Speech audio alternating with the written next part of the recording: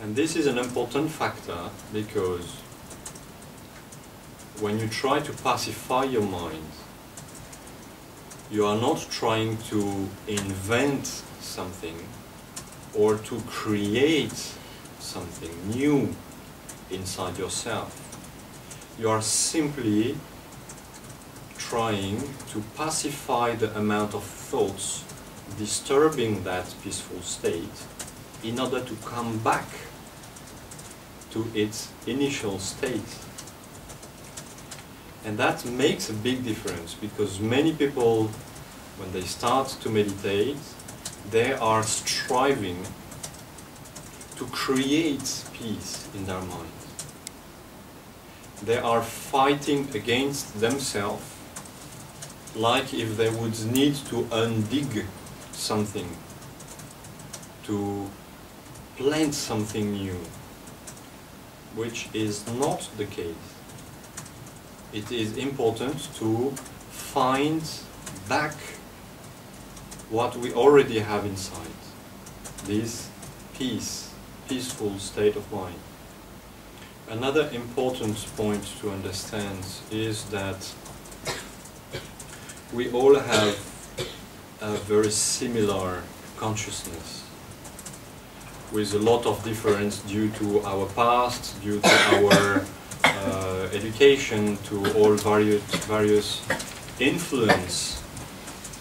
But the nature of our mind is the same. Which means that if some people are able to meditate, everybody can meditate. It's not that some special people can reach meditation and not the other ones. And that is an important point because I, I hear quite often people saying, I cannot meditate. It's not possible for me to meditate. I'm not advanced enough to meditate. This is clearly ridiculous for me. Because I know that everybody can meditate. It's a matter of will, it's a matter of discipline, it's a matter of motivation. So please remove once from your mind that you cannot meditate because this is not. It is a matter of how you will direct your motivation into the practice and how you will understand, develop faith, develop strength into your capacity to have a better control over your own mind, a better control over the amount of thoughts which are emerging constantly in your uh, consciousness. A certain amount of our thoughts are the product, the result of thoughts that we have generated in the past. We did think in a certain way which has created uh, a seed potential for some thoughts to arise in that same mind, that same consciousness in the future. So it can happen that while you are not necessarily willing to think in a certain direction, some thoughts arise in your mind, which can be fear, which can be anger. It is important to understand that these type of thoughts are not you. They are emerging within your consciousness on the basis of causes you have accumulated in the past.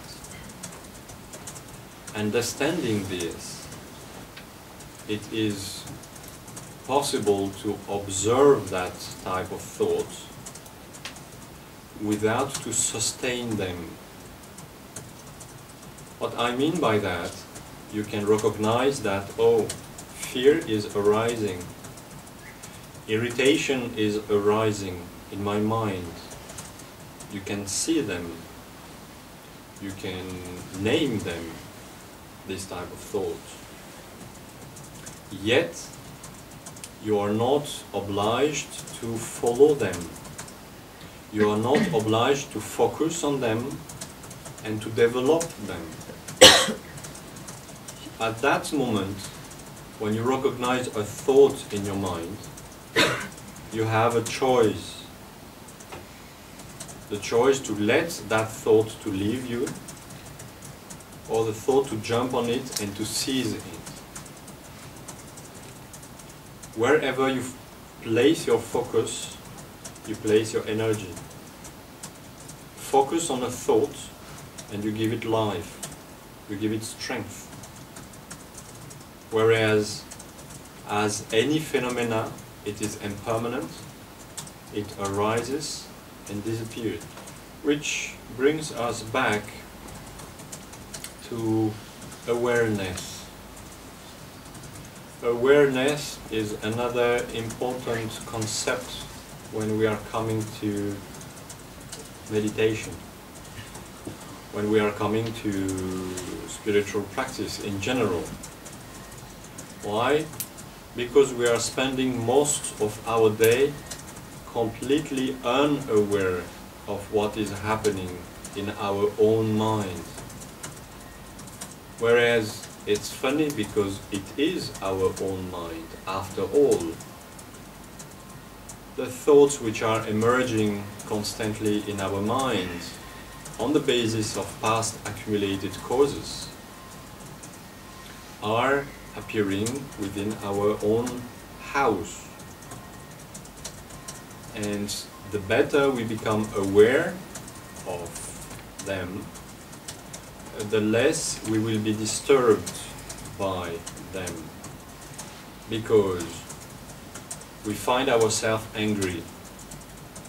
It does not happen on its own like something external.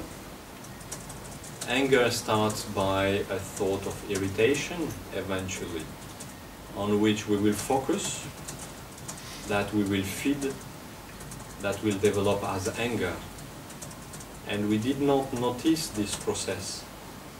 Why? Because we are unaware of what is happening within our own mind.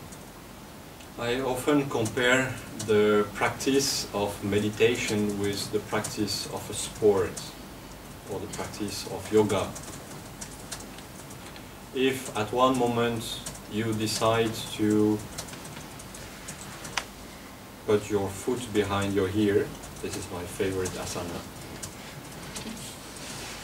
You might not, of course, reach that goal immediately, except if you are very supple. It might take a little bit of time before you reach that.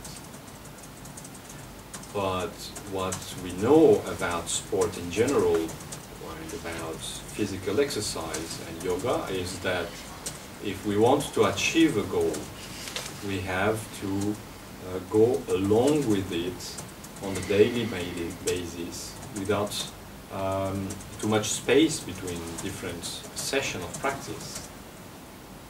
So if you want to achieve a complicated asana in yoga, or if you want to do some um, gymnastic or any other sport, you have to train steadily, constantly, with the proper motivation. The same for meditation. You want to have a supple mind, a mind that you can place wherever you want, peacefully, then this has to be done on a very regular basis. The motivation is of course again very important because you know the goal you want to achieve and you are walking towards it slowly by slowly.